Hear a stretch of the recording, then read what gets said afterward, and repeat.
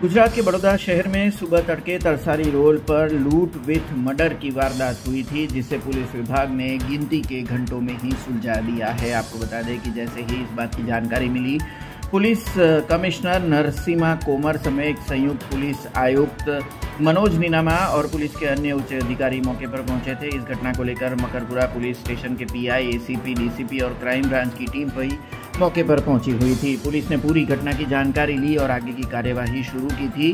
Police विभाग ने dog squad की भी मदद ली थी। आखिरकार पुलिस विभाग ने सभी कड़ियों को जोड़ते हुए सोसाइटी में ही रहने वाले विशाल सरोज को गिरफ़्तार किया है। विशाल सरोज ने पुलिस की गिरफ्त में आते ही अपना गुना भी कबूल कर लिया है। विशाल सरोज ने पैसे की ज़रूरत के चलते सुबह तड़के ये पूरी वारदात को अंजाम दिया था जिसके आधार पर क्राइम ब्रांच ने विशाल को गिरफ्तार करके आगे की कार्यवाही शुरू की है આજે સવારે વહેલી સવારે એક વૃદ્ધા સુખજીત કૌર નામના જે સિત્તેર વર્ષની ઉંમરના છે એમનો લૂંટ વિથ મર્ડરનો કેસ મકરપુરા પોલીસ સ્ટેશનમાં રજીસ્ટર થયો છે જે અંતર્ગત ભાઈલાલ પાર્ક સોસાયટીમાં જે તરસાલીથી સોસાયટીની વચ્ચે રોડ આવેલો છે ત્યાં રોડ ઉપર જ આ સોસાયટી આવેલી છે જેમાં સિનિયર સિટીઝન જેઓ બંને હસબન્ડ વાઈફ બંને એકલા જ જતા હતા, બાળકો બહાર રહે છે.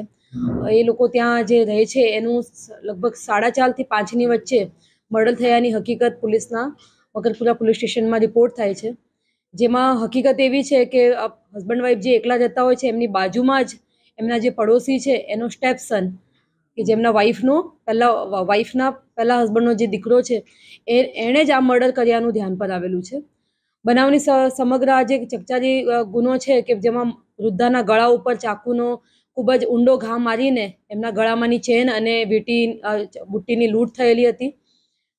સમગ્ર મામલે સીપી સાહેબ દ્વારા ખૂબ જ ગંભીર નોંધ લઈને જોઈન્ટ સીપી સાહેબ અને ડીસીપીઝની અને એસીપી ક્રાઇમની અધ્યક્ષતામાં ટીમોની રચના કરેલી હતી, જેમાં PCB, DCB crime SOG, local police સ્ટેશનની ડિસ્ટાફની ટીમ અને એલસીબીની ટીમ. એની અલગ અલગ ટીમો બનાવવામાં આવેલી.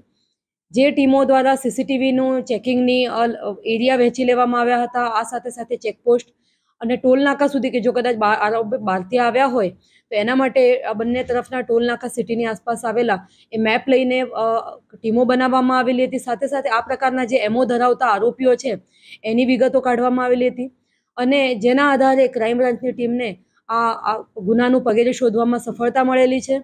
हमसे जुड़े रहने के लिए हमारे YouTube चैनल को सब्सक्राइब करें और नई वीडियो की नोटिफिकेशन के लिए बेल आइकॉन को दबाएं